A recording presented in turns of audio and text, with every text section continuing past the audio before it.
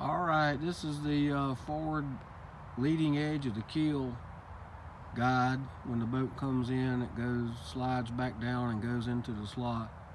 This upper board's going to be a guide for the keel as it as the boat enters the trailer and help center the keel above the slot.